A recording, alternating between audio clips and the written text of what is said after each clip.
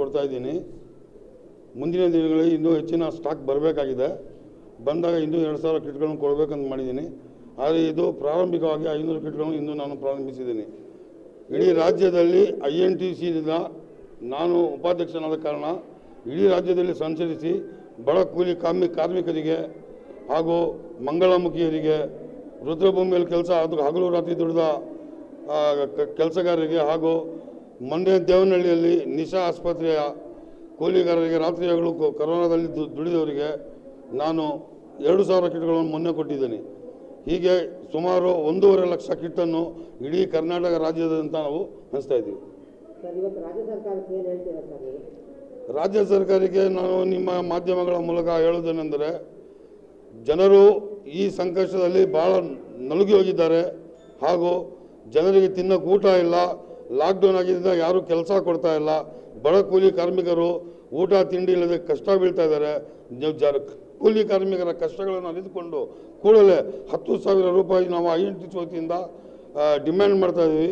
ಅದರಿಂದ ದಯವಿಟ್ಟು ಅದನ್ನು ಆದಷ್ಟು ಬೇಗ ಕೊಟ್ಟು ಬಡ ಕಾರ್ಮಿಕ ಕಾಪಾಡಬೇಕೆಂದು ಈ ಮೂಲಕ ಕೇಳ್ಕೊಳ್ತೀವಿ ಈ ವಿಭಾಗದಲ್ಲಿ ಇವತ್ತು ರೇಷನ್ ಕಿಟ್ಗಳನ್ನ ಅಲ್ಲಿ ನಮ್ಮ ಎಂ ಪಿಗಳಾದ ಸುರೇಶ್ ಅವರು ಮತ್ತು ನಮ್ಮ ರಮೇಶ್ ಅವರು ಇಲ್ಲಿ ಇವತ್ತು ಒಂದು ಎರಡು ಸಾವಿರ ಜನಕ್ಕೆ ರೇಷನ್ ಕಿಟ್ ಹಂಚಿದ್ದಾರೆ ಫಸ್ಟ್ ನಾನು ಒಬ್ಬ ಐ ಎನ್ ಡಿ ಸಿ ಅಧ್ಯಕ್ಷನಾಗಿ ನಾನು ರೇಷನ್ ಕಿಟ್ ಕೊಡೋದು ಸರ್ಕಾರದ ಕೆಲಸ. ಆದರೆ ನಾವು ಡಿಮ್ಯಾಂಡ್ ಏನಂದರೆ ಒಂದೊಂದು ಮನೆಗೆ ಹತ್ತು ಸಾವಿರ ಕೊಡಬೇಕು. ಕಾರ್ಮಿಕರು ಭಾಳ ಜನ ಇದ್ದಾರೆ. ಇದರಲ್ಲಿ ಏನಾಗಿದೆ ಅಂದರೆ ಮಸಾಣದಲ್ಲಿ ಕೆಲಸ ಮಾಡತಕ್ಕಂಥ, ಉತ್ತರ ಭೂಮಿಯಲ್ಲಿ ಕೆಲಸ ಮಾಡತಕ್ಕಂಥ ಕಾರ್ಮಿಕರಿಗೆ ಅಸಂಘಟಿತ ಕಾರ್ಮಿಕರ ವಲಯದಲ್ಲಿ ಸೇರಿಸಬೇಕು, ಅವ್ರಿಗೆ ರೇಷನ್ ಕಿಟ್ ಕೊಡಬೇಕು, ಅವ್ರಿಗೆ ಹತ್ತು ಸಾವಿರ ಕೊಡಬೇಕು ಅಂತ ನಾವು ಮನವಿ ಮಾಡ್ತಾ ಇದ್ವಿ.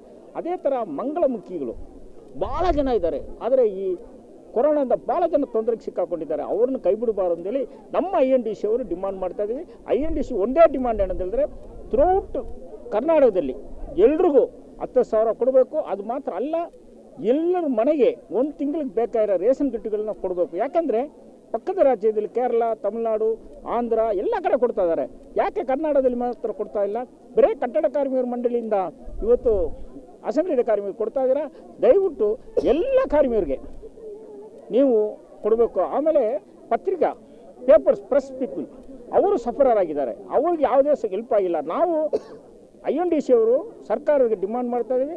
ಅವ್ರಿಗೂ ಕೊಡಬೇಕು. ಎಲ್ಲರೂ ಎಲ್ಲ ಅಸಂಘಟಿತ ಕಾರ್ಮಿಕರಿಗೂ ಹತ್ತು ಸಾವಿರ ಕೊಡಬೇಕು. ಅದು ಮಾತ್ರ ಅಲ್ಲ ರೇಷನ್ ನಾವು ಫ್ಯಾಮಿಲಿಗೆ ತಪ್ಪು ತಲುಪಿಸ್ಬೇಕು ಅಂತೇಳಿ ನಾವು ಮನವಿ ಮಾಡ್ತಾ ಇದ್ದೀವಿ. ಇವತ್ತು ಕೊಟ್ಟಿಗೆ ಕೊರಟಿಕೆರೆಯಲ್ಲಿ ಒಳ್ಳೆ ಕೆಲಸ ಮಾಡಿದ್ದಾರೆ. ಆರ್ ಕೆ ರಮೇಶ್ ಅವ್ರ ಕೈಯಿಂದ ಒಂದು ಎರಡು ಸಾವಿರ ಜನಕ್ಕೆ ರೇಷನ್ ಗಿಟ್ಟುಗಳನ್ನ ಹಂಚಿದ್ದಾರೆ. ಎಸ್ ಎಸ್ ಪ್ರಕಾಶ್ ಅವರ ನೇತೃತ್ವದಲ್ಲಿ ಈ ಭಾಗದಲ್ಲಿ ಹೋದ ಬಿ ಬಿ ಎಂ ಪಿ ಎಲೆಕ್ಷನ್ನಲ್ಲಿ ಕಾರ್ಪೊರೇಟರ್ ಚುನಾವಣೆಗೆ ಸ್ಪರ್ಧಿಸಿದಂಥ ನಮ್ಮ ಮುನ್ರಾಜ್ರವರು, ಈ ಭಾಗದ ಕಾಂಗ್ರೆಸ್ನ ಹಿರಿಯ ಮುಖಂಡರಾದ ರವಿಯಣ್ಣವರು ನಮ್ಮ ಬ್ಲಾಕ್ ಅಧ್ಯಕ್ಷರಾದ ಶ್ರೀಧರರವರು, ನಮ್ಮ ಸುದರ್ಶನ್ ಅವರು, ಇವರೆಲ್ಲರ ನೇತೃತ್ವದಲ್ಲಿ ನಮ್ಮ ಫ್ಯಾಂಕ್ರಿನ್ ಅವರು, ಇವರೆಲ್ಲರ ನೇತೃತ್ವದಲ್ಲಿ ಇವತ್ತು ಸುಮಾರು ಐನೂರು ಜನಕ್ಕೆ ಇವತ್ತು ರೇಷನ್ ಕಿಟ್ ಕೊಡುವಂಥ ಒಂದು ಕಾರ್ಯಕ್ರಮವನ್ನು